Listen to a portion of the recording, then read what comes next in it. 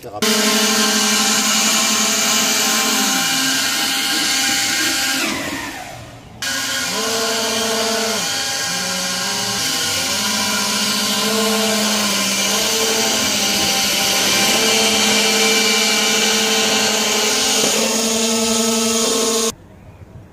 on, bon. Quand on réalise des modèles réduits, tout est récupération. Le BR qui supporte cette euh, overcraft est réalisé avec des lames de volet aluminium récupérées. Rien ne se perd, tout se transforme. Ce qui permet, comme euh, j'ai déjà dit, que ça permettait de faire des économies. Donc pareil, j'ai eu envie un jour de faire un, overcraft. Pas de plan, rien. Si, des plans d'un anglais qui refusait de les vendre.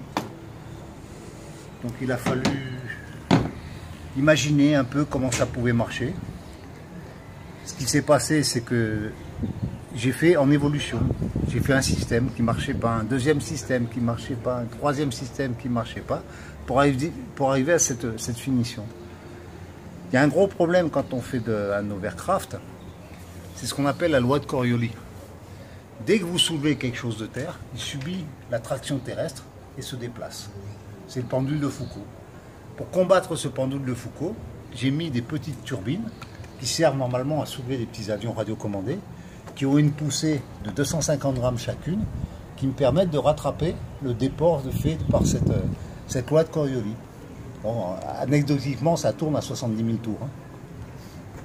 Ce que je n'ai pas là, j'ai monté déjà, j'ai déjà essayé, j'ai déjà mis un gyroscope. Ce gyroscope me permet justement de composer automatiquement cette, euh, ce déporté. Là, j'ai enlevé parce que quand j'ai voulu pour ce salon remettre un peu en état, j'ai un moteur qui a cramé parce qu'il en manque deux. Donc euh, il a fallu que je m'adapte pour, arriver à le présenter. Sinon, bah, les moteurs, ce sont des petits moteurs, tout est, tout est en moteur brushless et en pile lipo. C'est l'avenir du modélisme. Euh, certains des moteurs, tous ces moteurs qui sont des Protroniques, ont été achetés au, magasin Modim 66 où Jean Perra à Perpignan, chez mon copain Henri, qui, a toujours été, qui est toujours de bons conseils. C'est pour ça que je cite son nom. Le cerveau aussi, pas le mien, hein, celui du truc là, vient de, chez lui. Et il est fier de ce que je fais.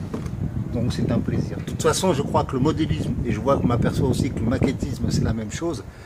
C'est des bandes de copains qui sont prêts à aider les autres. Voilà. On garde rien pour nous, on cède, on se transmet. Et ça fait une ambiance. Donc quand on va dans les salons, le seul truc qui est vraiment intéressant, la première chose, vous savez tous pourquoi on y va? Pour retrouver ses potes. On retrouve nos copains, on ne se voit pas souvent. Quand on se voit, on est heureux de se voir.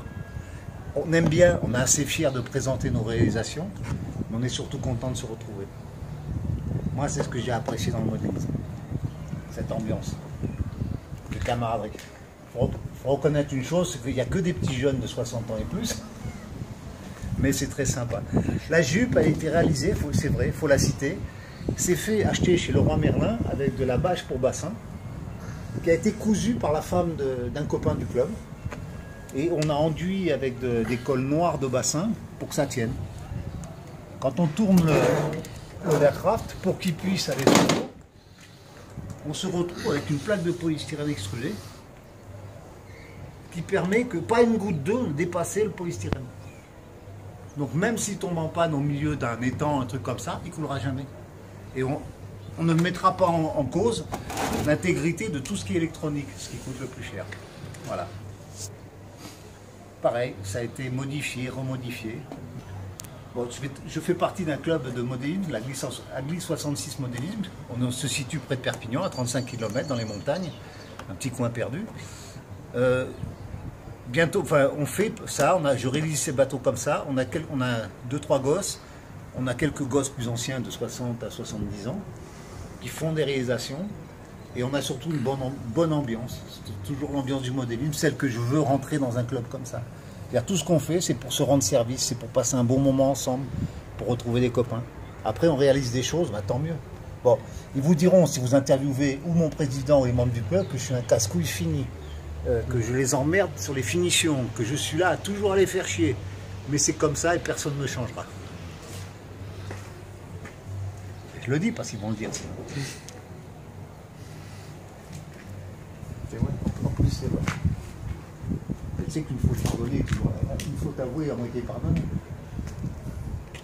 Non, lui, tu n'arrêtes pas de le faire. Oh, mon président là. Après, je vais refaire tourner l'autre.